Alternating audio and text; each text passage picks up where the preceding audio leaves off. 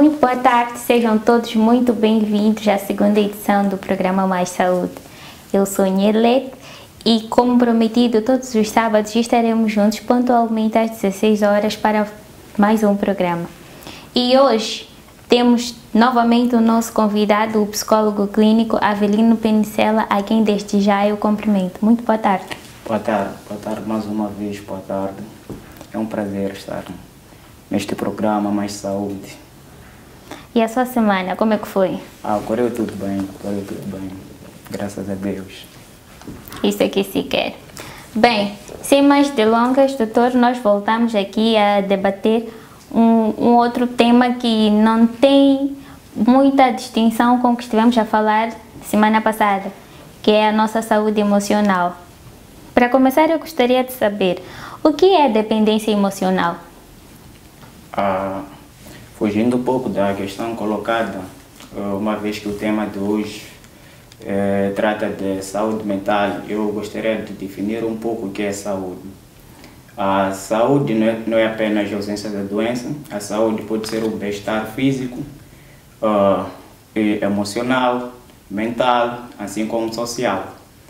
Uh, em relação à emoção, que é saúde emocional, tendo em conta a emoção, ela é, pode, ter, pode, pode ser eh, um, um estímulo imediato perante a um componente, seja ele externo, assim como interno.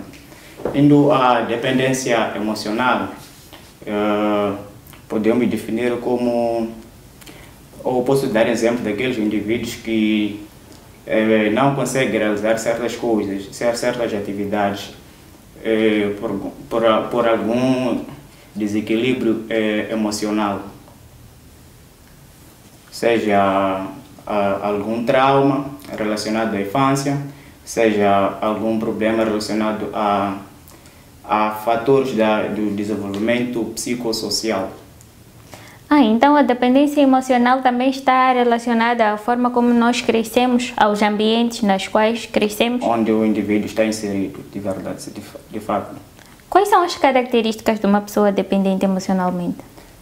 Uh, uma das características de, de, de, um indivíduo que padece de dependência é a dificuldade de relacionar-se com com a sociedade, com o meio, com as pessoas com quais ele está, está inserido. Estamos a falar de, de um indivíduo uh, com a falta de confiança, com, com alguns problemas relacionados à, à emoção. Um dos, uma das características pode ser a, a baixa autoestima. Estamos a dizer que um indivíduo eh, cresceu numa família em que uh, houve lá alguns problemas e, que têm a ver com uh, agressões, violência, tanto ela emocional assim como física. E quando ela cresce, ela acaba desempenhando ou seguindo, uh, aque, uh, seguindo aquele modelo dos pais ou do meio onde ele está inserido e acaba reproduzindo ou replicando aquilo quando já na vida adulta.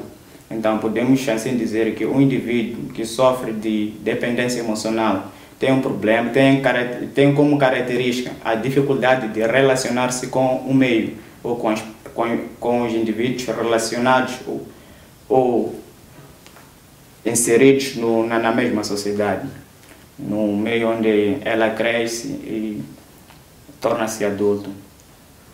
Pois. Então, estamos a dizer que, que de uma maneira geral, a dependência emocional está dire, diretamente relacionada ao, ao, ao amor, afeto? Sim, está tá diretamente ligado, uh, visto que o amor pode ser um dos fatores que pode fazer com que o indivíduo desenvolva a dependência emocional. Mas uma pessoa que, que sofre de dependência emocional, uh, para além da relação com, com os amigos, como é que é a relação desta pessoa com os seus familiares? Ah, primeiramente dizer que a, a, emoção em si, ele envolve ou é incorporada por alguns elementos. Estamos a falar do medo, da, da alegria, do desprezo, da raiva.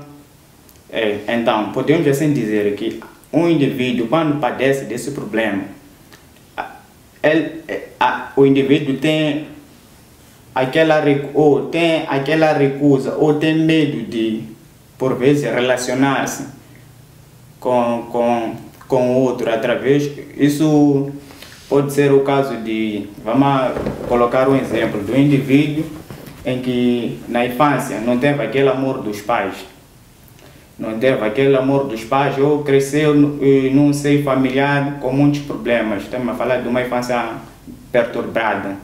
Então, quando ela cresce e quando ela cresce e chega é, aquele momento de aproximar-se alguém ou iniciar a vida é, amorosa ou conviver com os amigos, ela acaba tendo uh, ela acaba tendo conflito ou, chega, ou tem, tem dificuldade de relacionar-se com, com, com os amigos e com a família devido ao trauma que sofreu na infância.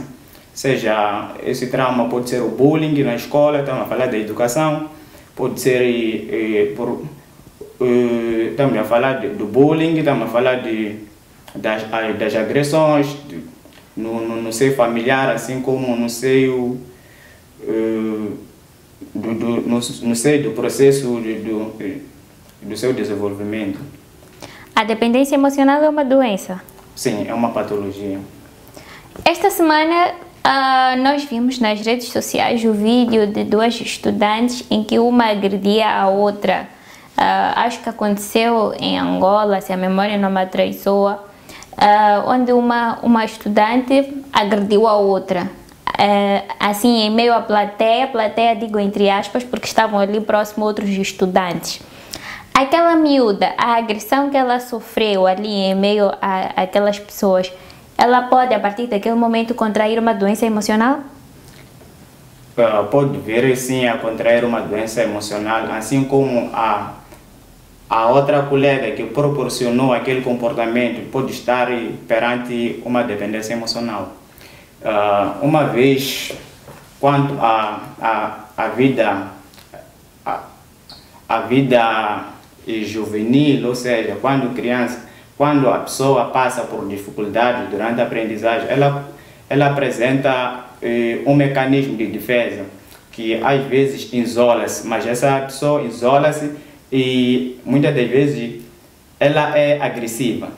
Então, por medo de, de interação ou de interagir com os outros, acaba mesmo isolando-se daquilo que é a sociedade, mas ela sempre apresenta um comportamento agressivo.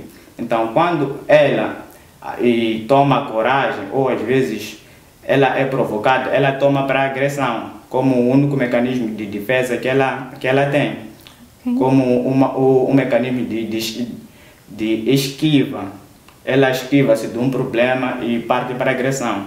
Assim como a, a colega que proporcionou aquela, uh, aquele ato, aquela atitude, pode por esse, por esse meio e desenvolver algum, alguma dependência emocional. Através do bullying, se for ela que levou às vezes apurada, ela irá e será rejeitada pela, pelas colegas, às vezes pelos professores, por causa do ato ela levou apurada, acredito que houve vídeos e depois vão vazar. Vazaram. Então, logo que as pessoas a perceber-se, ela ela corre o risco de, ser, de sofrer o bullying. Nós sabemos que o bullying é, é, uma, é, é uma das consequências que pode fazer com que a criança ou o indivíduo e tenha a, a dependência emocional ou sofra de, de algum distúrbio mental.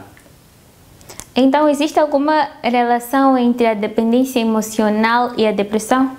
Sim. Existe a diferença e uma das consequências da dependência emocional é a depressão.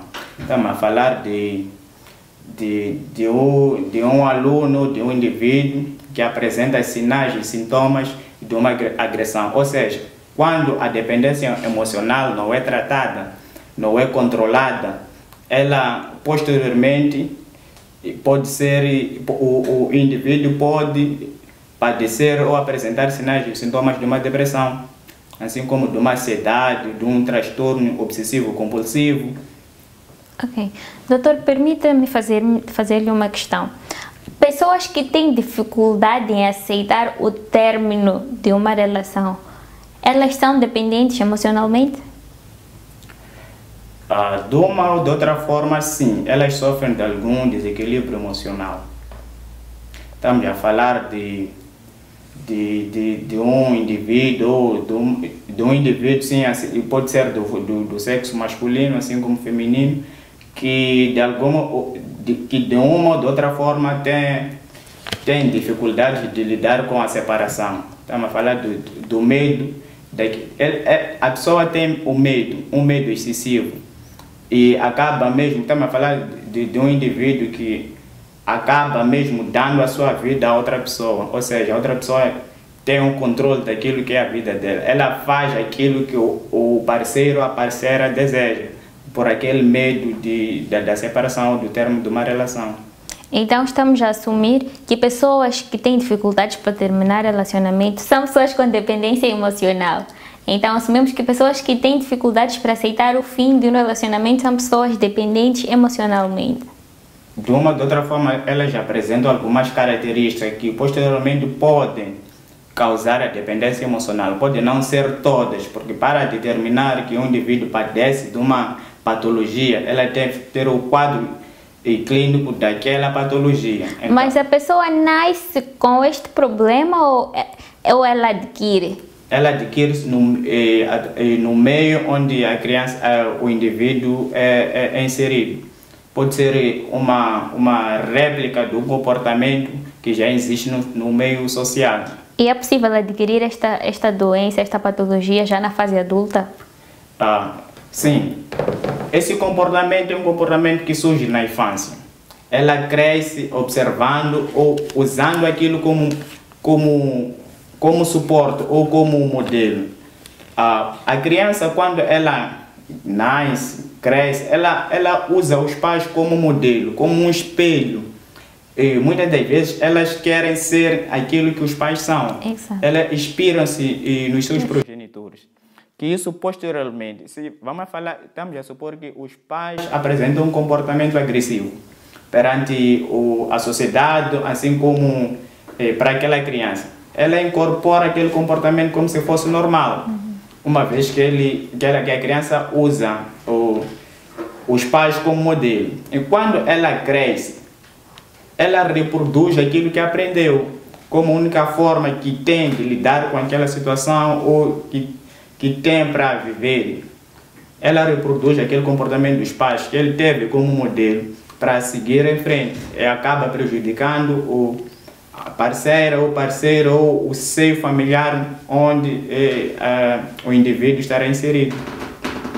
Certo. Situações em que uma criança está ali com o pai e ela exige, quando ela, quando ela quer alguma coisa, ela exige aquilo dos pais. Estamos perante uma criança dependente emocionalmente? Não, não, não. Ah, mas esse pode ser um dos fatores com que, eh, que se, for, se, se não for controlada ou vigiada, ela pode tornar-se dependente. Estamos perante uma situação em que a criança está à busca do controle daquilo que são ah, as, as suas exigências. Então, podemos chamar isso de chantagem estamos perante a, a, uma situação em que a criança gostou de, de, de, algum material e quer aquele material. Quando ela não, não ganha ou quando ela não tem, ela usa às vezes a tristeza, o choro, para poder ter aquele, objeto aquele produto que ela deseja. Então, podemos chamar aquele comportamento como chantagem, mas quando ela não é controlada, ela posteriormente pode tornar-se uma dependência. Certo. Então estamos a dizer que existe uma relação entre a dependência e a chantagem emocional?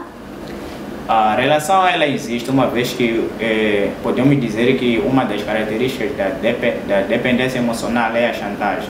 É partindo da chantagem que podemos eh, que podemos criar certos comportamentos. Ou seja, nós estamos perante uma situação em que a criança a criança ganha tudo que ela quer.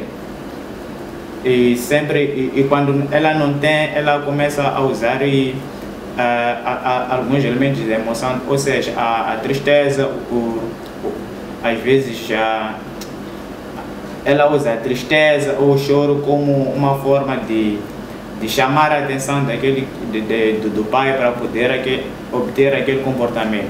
Então a criança acaba desenvolvendo, desenvolvendo aquele comportamento e quando chega na fase adulta, ela, ela cresce com aquele comportamento de, de quando não tenho algo, eu devo fazer aquilo para poder, eh, para poder ter.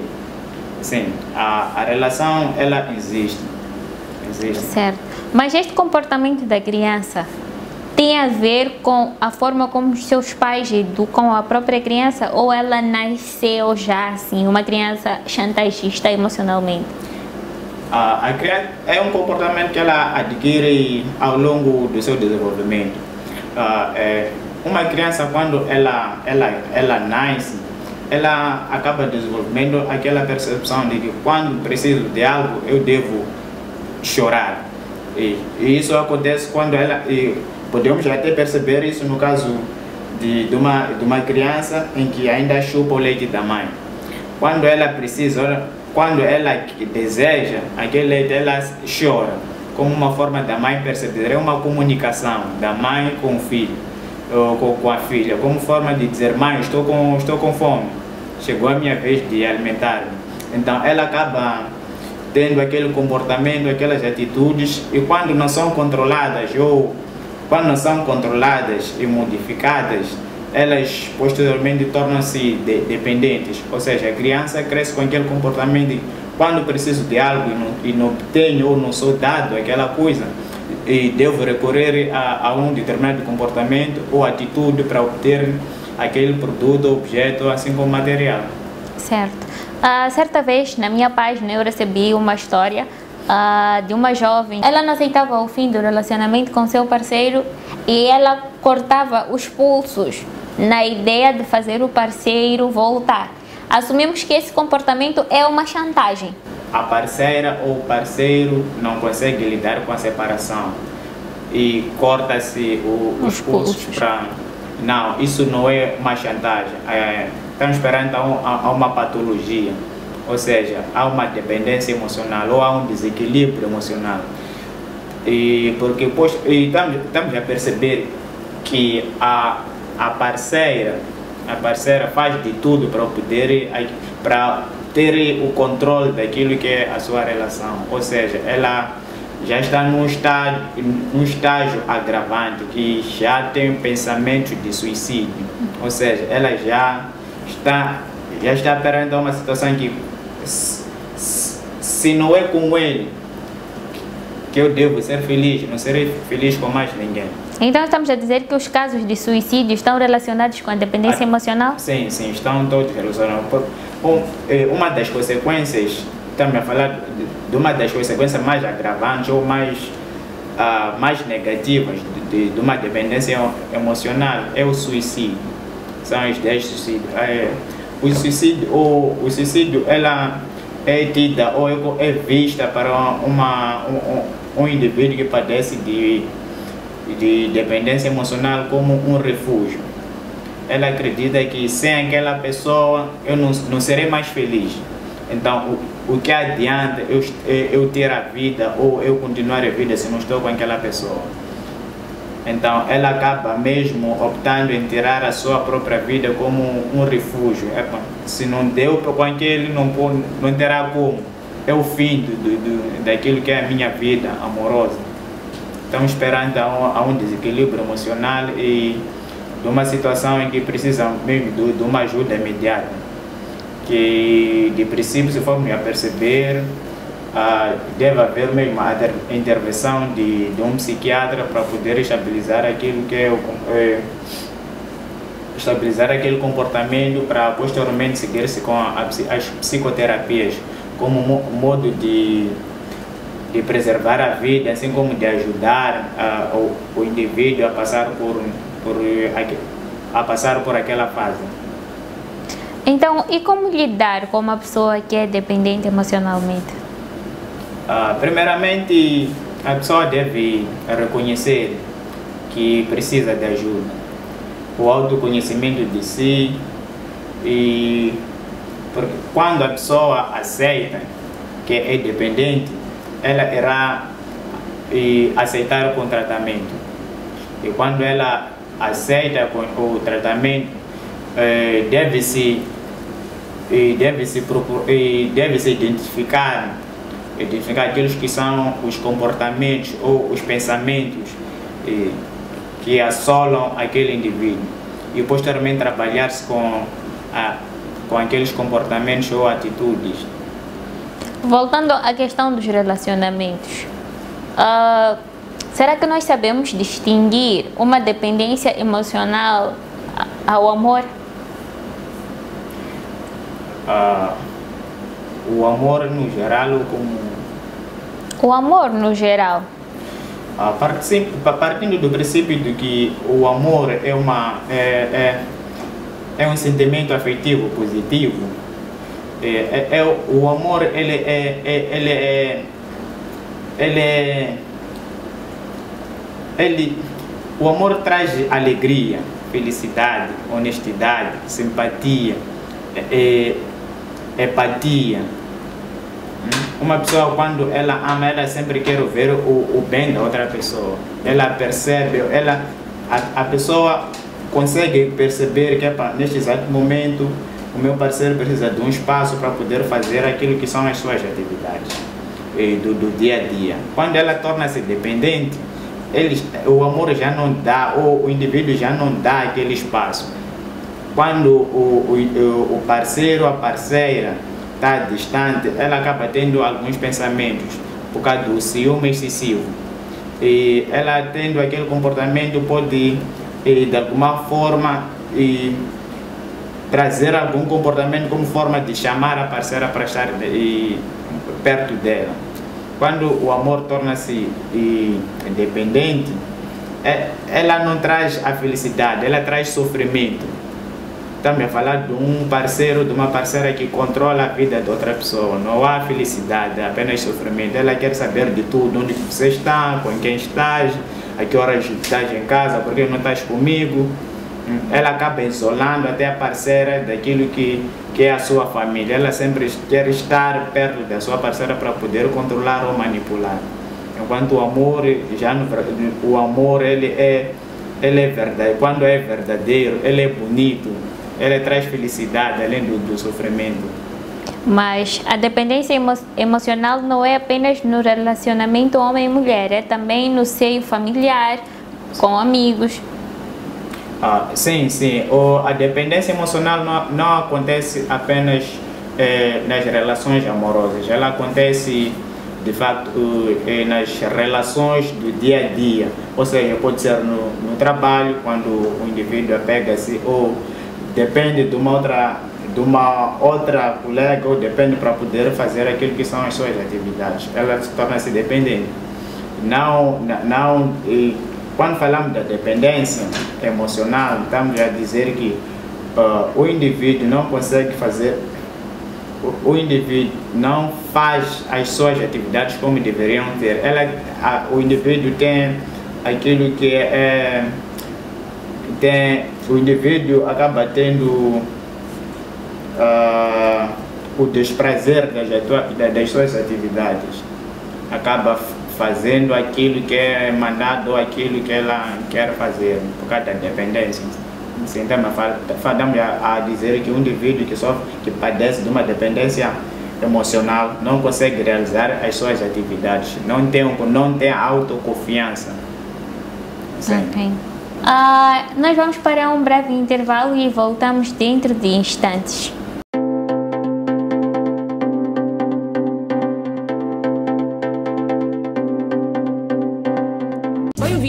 Canal Vilanculo TV. Acompanhe notícias, entretenimento e desporto. O nosso objetivo é manter o telespectador informado de tudo o que acontece em Vilanculo e no nosso belo Moçambique.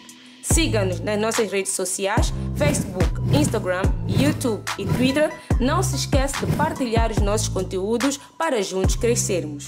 Liga-te à sua TV online.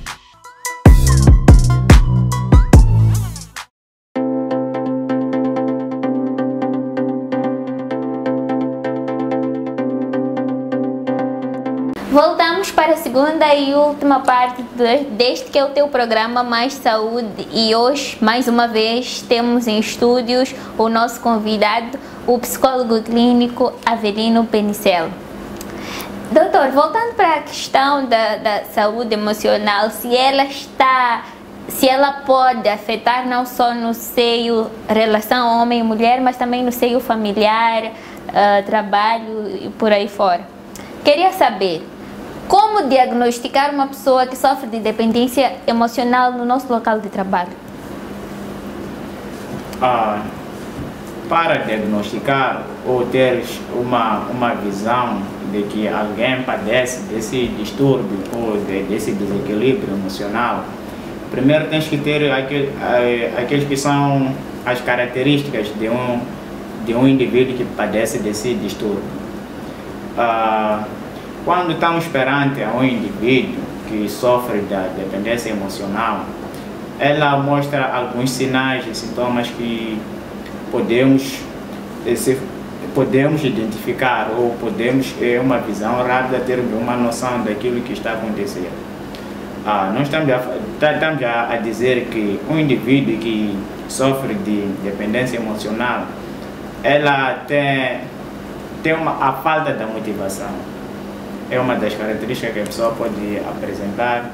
Isto é, a pessoa, a, o indivíduo não tem, muitas das vezes a, a, o indivíduo apresenta uma satisfação daquilo que é a sua vida estamos perante a uma situação em que o indivíduo que padece de uma saúde emocional ou de um desequilíbrio de saúde emocional tem, tem tido é, insegurança no seu trabalho e de uma ou outra forma precisa de algum auxílio de, de, de, de um auxílio de alguém que irá usar como, como uh, que acaba usando como a base para poder obter uh, alguma, alguma vantagem ou uh, algo que, que ela não tem. Estamos a falar que alguém que sofre de dependência emocional, ah, ela primeiramente gosta do controle, de ter o controle daquilo que é a vida de outra pessoa, para poder ter ou para poder ganhar aquilo que, que ela deseja estamos assim a dizer. E alguém que uma das características é, uh, uma das características do, da dependência emocional e pode estar ligada também a, a, a, comportamentos apáticos. Quando falamos de comportamentos apáticos, estamos a dizer que o indivíduo o, o indivíduo não tem não tem, o indivíduo apresenta comportamentos, podemos, e que a sociedade na, na, muitas das vezes recusa ou não aceita. Estamos a falar que apatia são aqueles comportamentos que às vezes e, de uma, julgamos anormais. Então estamos esperando uma situação em que podemos estar aqui a talvez a, a, a sorrir e a pessoa que padece daquele comportamento, ela pode começar a chorar. Então podemos assim identificar aquele comportamento, porque estamos, estamos esperando uma situação de alegria, a pessoa chora. É algo incomum. Podemos assim identificar aqueles comportamentos como anormais. E quando e identificamos aquele comportamento, podemos assim podemos procurar uma ajuda para podermos é, para podermos trabalhar aqueles comportamentos e, e que posteriormente não se tornem é, sentimentos negativos ou que não se tornem agravantes. E dentro do seio familiar, as características são as mesmas? Ah, dentro do seio familiar também falar de podemos identificar esse comportamento em indivíduos que isolam-se da, da sociedade. Estamos perante um indivíduo que ah, estamos numas brincadeiras, ela, ela isola-se, isola-se daquilo que é o convívio, de, de, daquelas amizades que ela deveria estar lá e ela não está, podemos assim dizer. Quando ela é chamada para brincar, muitas das vezes faz algo que provoque aquilo, para que isole-se, isole-se daquilo que são, daqueles que são os seus amigos. Ah, no seio familiar, uma das características também que podemos ver a notar no seio, no seio, no seio familiar, é, muito antes até da pessoa desenvolver essa, essa, essa patologia, podemos assim dizer, e, em caso de, da família, existir lá alguém, alguém com um comportamento e, desajustado e muito ligado a, aquele indivíduo. Então, a probabilidade da criança desenvolver aquele comportamento pode ser, pode ser maior. Então, assim, podemos também identificar aquela, aquele comportamento, aquela ligação como algo anormal. Pessoas dependentes emocionalmente são pessoas tóxicas? Sim, são tóxicas, sim. Nós estamos já são tóxicas quando a dependência torna-se já está no estágio agressivo, no estágio uh, mais elevado. Portanto, a, a, a dizer que uma das consequências da dependência emocional é a depressão. Nós, nós sabemos que quando alguém está com uma depressão, sempre há tendência de, de ideias suicidas. Então, ela torna-se tóxica para a pessoa mais próxima, pois eh, a pessoa mais próxima vendo aquele comportamento ou aquela comunicação de eu quero tirar a minha vida porque ela já não faz mais sentido, ela de uma ou de outra forma torna-se tóxica.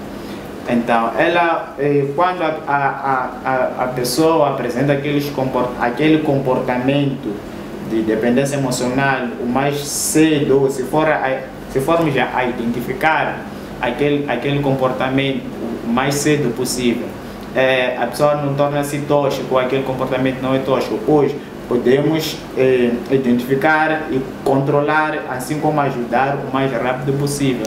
Para além da depressão, como consequência do, do, da dependência emocional. Quais são as outras? Ah, uma das consequências, ou as consequências da, da, da, dependência emocional, além da depressão, podemos ter lá ansiedade, podemos ter lá ah, o transtorno obsessivo compulsivo por causa da dependência, é, acaba promovendo aquilo que é a compulsão ou obsessão por alguma coisa. Ah, temos lá a temos a ansiedade, temos o transtorno obsessivo compulsivo, temos a, a depressão em si, uh, temos algumas fobias ou medo, por causa do medo de perder a parceira ou, ou um objeto, acaba desenvolvendo aquilo que são as fobias, que é um medo exagerado. Ok. E os como, como tratar estes tran transtornos emocionais? Ah, os transtornos é, é, emocionais são tratados por vias de psicoterapias, ah, onde está, temos lá o, o paciente e o psicoterapêutico, e tendo lá algumas abordagens da, abordagens, sinais e sintomas que o paciente apresenta podem entrar em concordância para poder ultrapassar aquele problema. E se for um caso agravante que envolve a família, deve-se fazer uma psicoterapia familiar, como forma de chamar a família para poder perceber que aquelas atitudes, aquele comportamento que o paciente ou o indivíduo apresentava, não porque queria, mas sofria de algum, de algum desequilíbrio emocional. Então, como forma de, de, de incluir ou de de incluir a família para que o paciente sinta-se uh, sinta-se à vontade e, e aceite pela sociedade ou pela família. Inclui-se a família nessa psicoterapia como forma de ajudar também a, o paciente, assim como a família, a, a ultrapassar aquele problema. É, o indivíduo ou o paciente tem o auxílio da família para ajudar aquele para ajudar o, o paciente.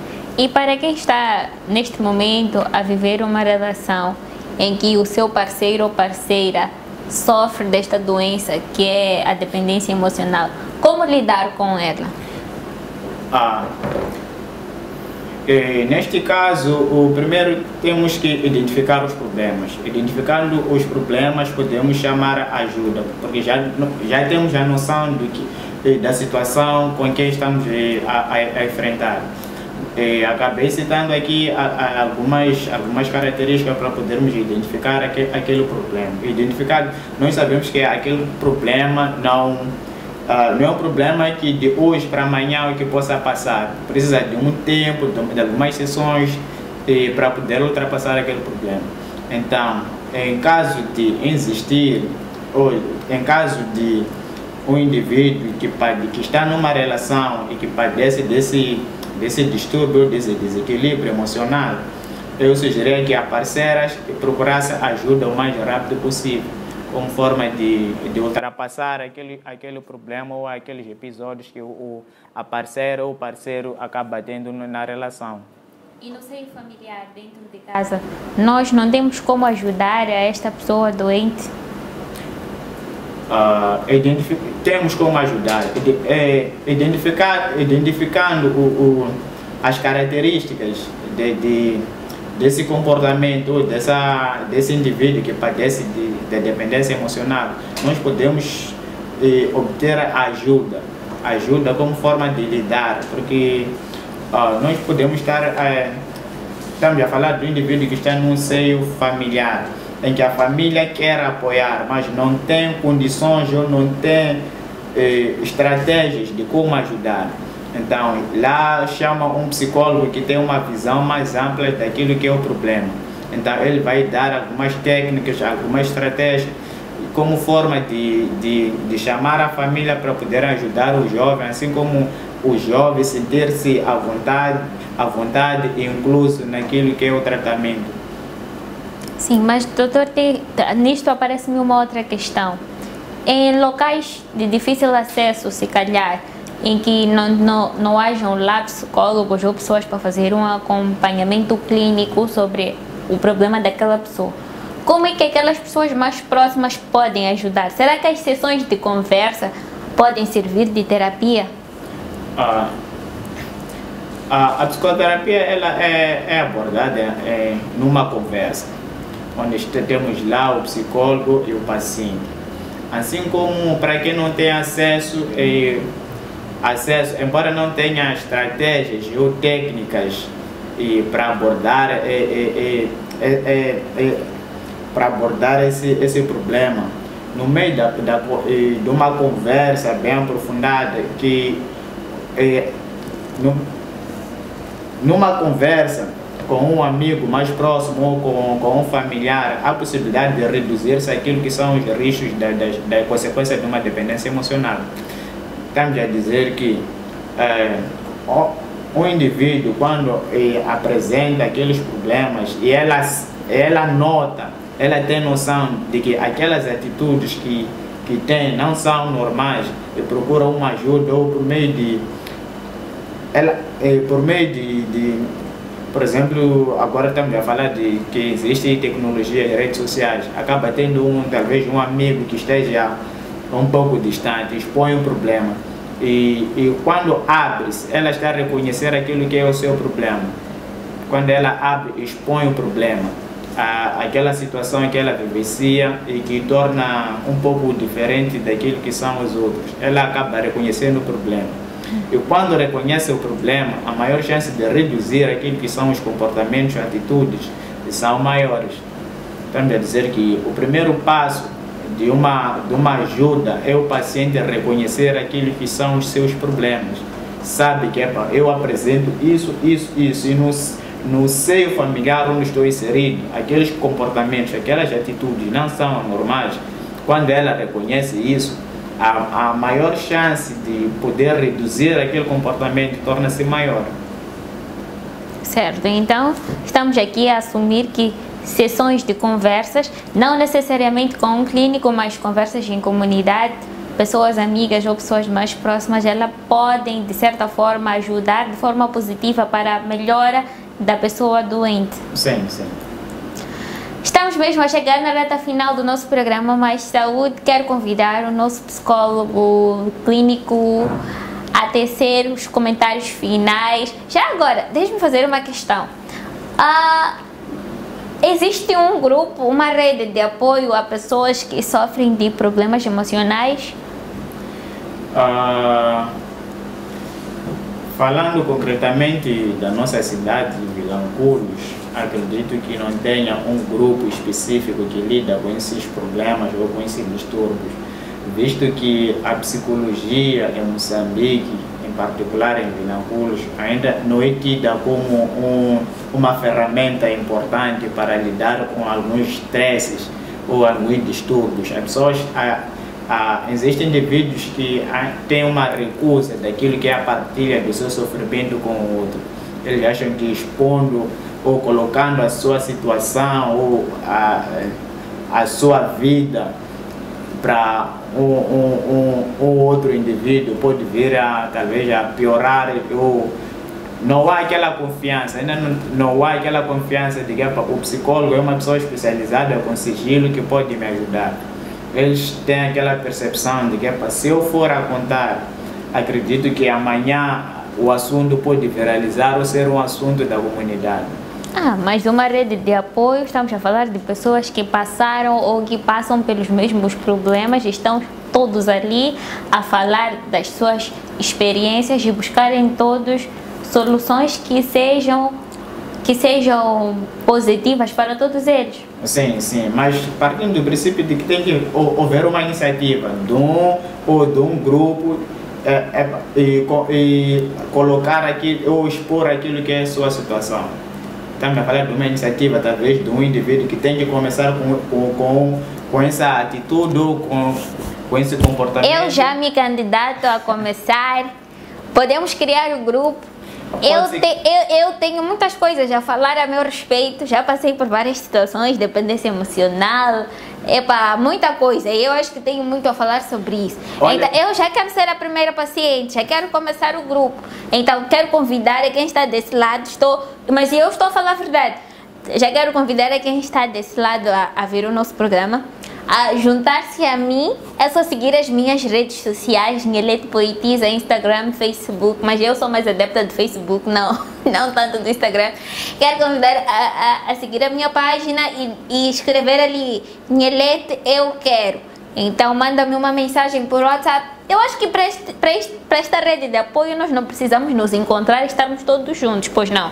Não, não. Agora com a tecnologia nós podemos fazer até as sessões via WhatsApp assim como usarmos outras, outras formas, outras redes para podermos... Mas doutor, nós precisamos fazer isso, precisamos, precisamos criar esta rede de apoio, porque olha, hoje em dia tem muitos jovens hospitalizados, eu estive acompanhando nas redes sociais que uma figura neste momento está hospitalizada, não sei se já teve alta ou não, mas vi, a, a, acho que ontem, antes de ontem, que, que tem, um, tem uma figura que está internada porque está a passar por problemas emocionais, porque os problemas emocionais são vastos, né? Tem a chantagem, tem a dependência e outros que eu sou leiga para falar. Então, eu acho que há uma necessidade de criar-se uma rede de apoio, porque o que temos hoje é muito negativismo por parte de pessoas que acham, em algum momento elas acreditam que estão bem e passam negatividade para as pessoas que precisam realmente de ajuda. As pessoas que precisam de ajuda estão a ser ridicularizadas. Mas este é um assunto muito sério, como o doutor esteve a explicar aqui, que para além de levar à depressão, leva para um estado mais grave, que é o de suicídio, até mesmo o homicídio. Então nós precisamos reduzir, nós, nós como jovens, uh, precisamos fazer alguma coisa para mudar este cenário. Então eu acho que é a altura de nós criarmos uma rede de apoio, não é? Uh, não sei ainda como seria denominada esta rede de apoio, mas precisamos criar uma rede de apoio para auxiliar não apenas jovens, mas adolescentes também, como o caso das meninas que viralizaram no vídeo em que estiveram a, em que uma esteve a agredir a outra. Precisamos resolver estes problemas que a nossa juventude, os adolescentes a camada mais adulta está a passar, porque também já vimos muitos casos de suicídio e homicídio de pessoas adultas por questões relacionadas à saúde emocional. E uma, um indivíduo, quando padece de algum distúrbio mental, ela age como, como se aquela vida que ela enfrenta ou passa fosse normal. Apenas é, um, um, um, indivíduo mais próximo ou um familiar é que nota aquelas atitudes, aquele comportamento como se fosse normal. Então, não cabe apenas a, a, ao paciente ou ao indivíduo que padece de algum distúrbio ou desequilíbrio emocional procurar ajuda. Um familiar que vê aquele comportamento ou as características que deixamos passar, deixamos ficar como se fosse como, como algo anormal, pode assim aproximar a, a uma ajuda a, a, uma ajuda imediata ou a uma ajuda mais próxima para poder e, e mudar aquilo que são as atitudes ou comportamentos que, ali, que o indivíduo apresenta. E para quem desejar entrar em contato com o doutor, como é que faz? Ah, tenho posso deixar ficar o meu número que é 86 50 83 807 assim como tenho uma página no, no Facebook que é Avelino Pincela que lá pode colocar ou pode contactar-me para podermos analisar ou vermos aquilo que são as preocupações. Eu sou Nhelete Poetisa, quero convidar aos telespectadores a seguirem as minhas redes sociais, Nhelete Poetisa. Tem lá os meus contatos, caso alguém tenha alguma questão, pode colocar lá. E para fecharmos o programa, quero ler um trecho que eu achei super interessante. O amor é uma faixa vibracional, não depende da outra pessoa. É um estado de espírito que atingimos. Já a relação de dependência é o exato oposto disto. Quero convidar a si a refletir em torno disto e buscar ajuda. A, saúde, a dependência emocional é uma doença e, como toda doença, ela precisa ser tratada. Então busque ajuda, o nosso doutor Avelino está aqui à disposição para ajudar. Então, é isto. Abraços e vemo-nos no próximo programa.